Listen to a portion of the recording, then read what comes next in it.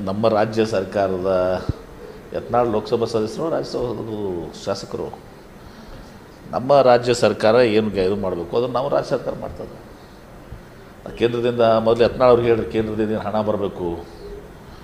G S T ನಮ್ಮ ಪಾಲು. ಹೋದ ಸಲ ಕೋರ್ಟ್ನಲ್ಲಿ ಹೋಗಿ ನಾವು ನಮ್ಮ ಹಣ ಪಡ್ಕೊಳ್ಳುವಂಥ ಪರಿಸ್ಥಿತಿ ಬಂತು.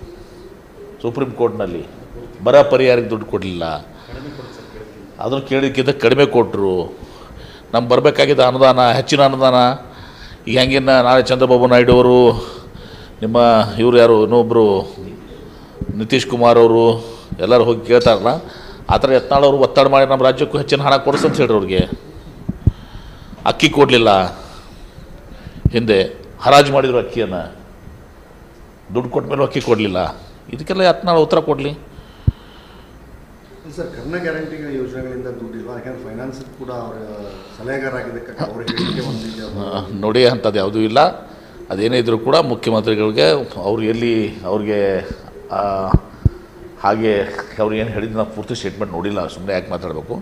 ಅದು ಅವ್ರು ಯಾವ ರೀತಿ ಹೇಳಿದ್ದಾರೆ ಏನು ಹೇಳಿದ್ದಾರೆ ಅದನ್ನು ಮುಖ್ಯಮಂತ್ರಿಗಳು ಚರ್ಚೆ ಮಾಡ್ತಾರೆ. ಅಂದರೆ ಯಾವುದೇ ಕೂಡ ಗ್ಯಾರಂಟಿಗಳು ಇದಾಗಿಲ್ಲ. ನಮ್ಮಲ್ಲಿ ಮಾತ್ರ ಈ ಕೆರೆಗೆ ಏನು ಅಭಿವೃದ್ಧಿಗೆ ಒಂದು ಒಂದೇ ನಾನೇ ಒಬ್ಬನೇ ಅದು ಸಲಹೆಗಾರ ನನಗೆಲ್ಲ ಗೊತ್ತಿದೆ.